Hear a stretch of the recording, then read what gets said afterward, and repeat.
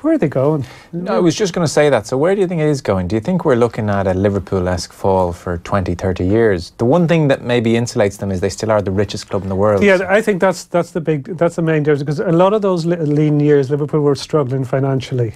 Like if you look at some of the squads. Um, oh, particularly more recent time under Hodgson, etc. You know, they, they, they were they were really uh, they were really struggling, but um, part of it is seems to be it's worrying that fans now seem quite resigned to it. Mm. You know, like this is where we, we are, and there should be Diddy there should be more anger. I Didi Hamann was almost scratching his head last night at yeah, yeah. saying, "I can't get over how stoic the Manchester United fans are." Yeah, Mourinho's done a very good job of getting them on side and pointing the finger at Woodward and saying yeah. all the right things. But it is amazing, really, that he he hasn't been booed really at all. Yeah, because when Liverpool started to slip, there was a lot of anger among yeah. their support. Like there was a lot, you know, there was this is a us, etc. Yeah, like it because they were used to being up there, and I don't see that. I think that anger seemed to be there at the start, uh, you know, under Moy saying. Van Hadden said, but now it's kind of okay, we're not where we were, but they should be up there. Like they, they have the clout Oh yeah, you know the and a billion. It's a, know, it's a directional thing. When you look at what Begiristain has done, for instance, at Manchester City, it's not Pep Guardiola. It's not necessarily the money. Mm. It's having somebody above the manager to dictate where that money should be spent and how. Like bringing in the likes. There's been no question asked of Aymeric Laporte since his arrival in January last year because he's just been very very good. Yeah. yeah. The performances that he's put in, and there's been a string of those Manchester City players that they brought in, not necessarily heralded with any great noise. Uh, Gabriel Jesus is probably one of those. Spurs have just scored by the way, mm. um, but there's been no question of how their performances. They're all just really, really good. PSV 1, Spurs 2. So Spurs were 1 0 down in this game. 55 minutes gone. This was one of the early kickoffs, obviously. It looks like it was Eriksen who put in the ball. It was most certainly Harry Kane who mm. scored mm. with a header. So after going 1 0 down away to PSV, Spurs now 2 1 up with 35 minutes to go. Van Gaal really was the most wasteful with money. I mean, the amount of dross he bought for yeah. 20 million here, 25 million there, 18 million there, just brought in a raft of what I would call Daley Blind types. Yeah. Daley Blind was not the worst offender by any means, but Daley Blind types, and lots of them. Yeah, no, that's a, that's that's a fair point, but they're really, the, the, you know, their their biggest money signings, like Di, Di Maria, mm. has gone after a year. Pogba, still the most expensive midfielder in the world. Yeah. Uh, could be gone very soon. You Sanchez know, the, looks like he's Sanchez, gone. you know, was. It really looks like he's gone. It really looks yeah. like they've done a Fernando Torres to Chelsea. Yeah, like number. City dodged a bullet. Yeah. Like they've got Mahrez instead, and uh, you know that's they've got much the better of the deal. But like, where do they go now? Like when you look at the bookies' odds of the likely successors, you know, you got Zidane and um, uh, Conte, I think, is in there. Mm.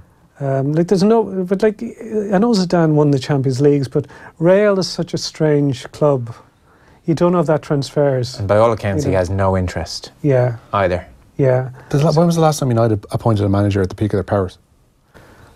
Uh, at the peak of their powers. David Moyes was at the peak of his powers. Was he though? Uh, was he though? Because you would say suggest that perhaps. But do you want somebody at the peak of their powers or somebody who's just going to kick on? Like Alex Ferguson was about to kick on. Somebody's so. well, Alex Ferguson three years before he was appointed one a European Cup Winners' Cup when that was actually. Yeah, but he wasn't at the peak of his powers. Yeah. The peak of his powers at United. You actually need to go back to before Alex Ferguson. So yeah. the answer to your question is a long time ago. Yeah. but like like Van Gaal was by anyone's standards yesterday's man when he yeah. was appointed. I guess who he, someone at the peak of their powers now, and also with life in them. Pochettino is the big one that jumps yeah. to mind. You feel he's the next big force. Yeah, uh, yeah, because I think you need personality now. That it's interesting that um, like Pochettino and Klopp are very much. They seem very close to players, yeah. even though they bollock them out by all accounts, particularly Klopp. But Mourinho has has just this approach now that you think you're wondering does it work with players and would that players at that level anymore, mm. or they just need something different. That he, he could still win trophies with him. And he has. The, and he has. He has already at the club. They could still, you know, they're tenth, but they, they could still get in the top four. Uh, they're not that far adrift, but in terms of winning a league or Champions League yeah. and United, well, I can't see that happening under Mourinho. That's true. It's extraordinary, really, that a team with Rashford, Lukaku, Martial, Pogba, Mata could have looked so impotent, mm. isn't it? Really. I mm. You couldn't have done much worse if you said, "Lads, go out and do whatever you think is best." Yeah, well, it's clear. Uh, obviously, there's there's issues around um, both talent identification and who's actually making the decisions on transfers, because Mourinho seems to well, not seems to. He, he, makes it pretty clear that he's not having the final say, as he did at Chelsea. And I think this is something that's part of the reason he seems so sour the last few years. Yeah. That he has his own ideas or his own players he wanted at both Chelsea and United. He's not getting them. I'm a United fan all my life. I hope they lose now. Winning playing like this is no good. Maybe that makes me arrogant, but I supported United when Big Ron had them. Two wingers attacking, won the odd cup, but with style. What we're currently watching is just beyond comprehension for any proper United fan. The phrase "I hope they lose" I've started to hear more and more from Manchester United yeah. fans. I. But like last night, when you're when you're at home to Juventus, when Ronaldo was coming back, and this is hyped up as so much, uh, you've already uh, dropped points in the Champions League and you've had, you're on a bad run. You think they would have been pumped up from the from the start, but it took them going behind in an awful first half to get any energy into the team. It's not like they were brilliant the second half. They just showed a bit of a bit of bite and fight, but yeah. they were still. I must pretty say, ordinary. Yeah, no, they were. I must. Say, I thought in the first three, four, five, six minutes before it really settled down into the, the pattern that that first half became. I thought there was a sharpness about the United players on the ball more so than what we see from them in the Premier League. I think mm. they, I think they actually which is more worrying still. They did come out a bit fired up and yeah, let's do yeah. this, and then actually the way Juventus were zipping that ball around. Yeah. Just kind of five, six minutes later, they're wrecked. Well, Juventus looked better coached, which oh, is yeah, an indictment. They, they looked yeah. far better coached than them. You no, know? it's true. Why don't people talk about net spend when it comes to spending players? Surely that's the most realistic figure, says Connor in Skerries, and Enda outside is Well, Mourinho's net spend is massive. It's over 300 million. I was just going to say, outside uh, Enda's stuck through. So since 2016, compared to Liverpool and Man United, and total spend is 411 million Liverpool 392 million United. Fees received Liverpool is 289 fees received United 85 yeah. so the net spend for Liverpool since 2016 is 121 million.